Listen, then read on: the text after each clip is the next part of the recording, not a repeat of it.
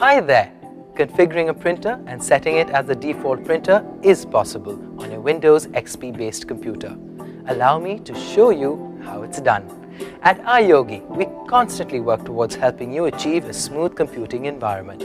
Now remember, if you have more than one printer connected to your system, you can choose any one to be your default printer. Doing this will help you make your computer, your printer and you more efficient as you will not have to select a printer each time before printing.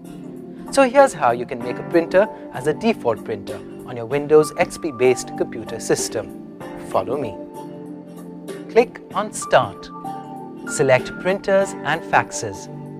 Right-click on the printer which you want to make the default printer.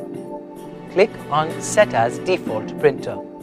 And there you go. By following these simple steps, you may easily set a printer as a default printer on your Windows XP based PC. Now that's called great tech support.